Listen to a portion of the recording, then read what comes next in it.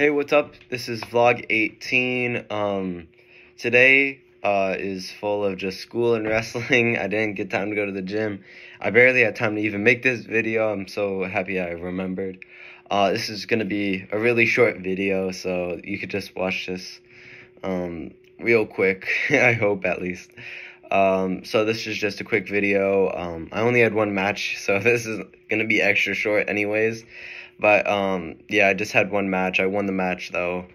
Uh, our school didn't win in total, but we would have won. It's just that they had more people in more weight classes, if you know what that means. So they got a lot of points just because we didn't have people there. But um, yeah, that's how it went. Uh, my opinion, we won. They they were they celebrated a lot, but um, yeah, let's get into the video.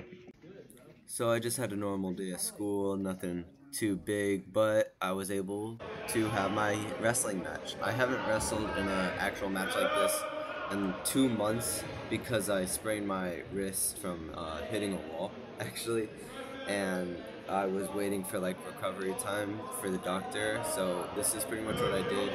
I don't have the whole recording, but I won the match if you were wondering, and that's about all for today. Hey, what's up? This is the end of the video. Um, I hope you enjoyed this World Just Wrestling match, I guess. And uh, school, we didn't have much going on at all. But um, I hope you guys enjoyed this video. And I hope you guys watch the next videos. Maybe even the videos before. If you guys want, um, please subscribe and like. And I'll be real grateful. And uh, see you guys tomorrow.